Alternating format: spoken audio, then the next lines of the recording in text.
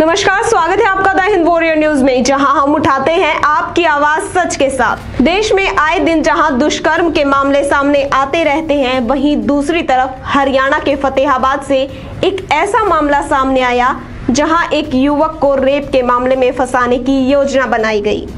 और युवक को उसमें फंसाते हुए पचास हज़ार रूपए की मांग की। मामले का खुलासा होने पर दो महिलाओं को गिरफ़्तार कर लिया। आइए सुनवाते हैं आपको इस मामले पर पुलिस ने जो कहा।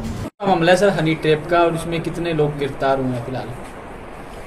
16 अगस्त को सब इंस्पेक्टर जुगलाल को मैनपाल वासी मेघवाड़ा ने एक कंप्लेंट दी कि उसके पास एक महिला ने फ़ोन किया कि उसको कोई इमरजेंसी है उसके ऊपर वो गया वहाँ।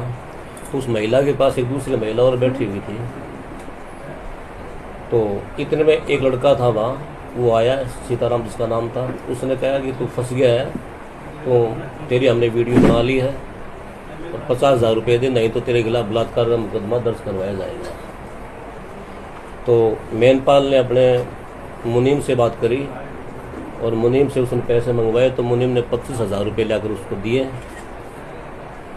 तो शेष पच्चीस हज़ार के लिए ये कहा भी ये पच्चीस हज़ार आप हमें कल सुबह दे देना नहीं तो मुकदमा बलात्कार का दर्ज करवाया जाएगा।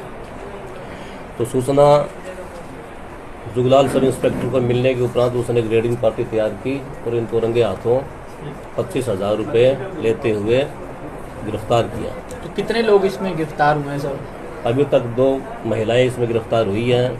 तीसरे आदमी की गिरफ्तारी बकाया है उस पर रेड की जा रही है जिसको जल्दी ही गिरफ़्तार किया जाएगा। तो कितने फ़िलहाल ये पैसे ले चुके थे सर मतलब?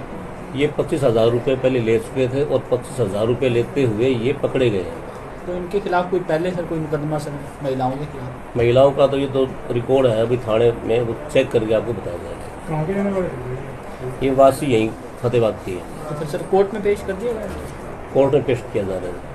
फ़िलहाल आरोपी महिलाओं को गिरफ़्तार कर लिया गया है और कार्रवाई की जा रही है। ऐसी ही बड़ी खबरों के लिए बने रहिए हमारे साथ। हमारे चैनल को लाइक, शेयर और सब्सक्राइब कीजिए। धन्यवाद।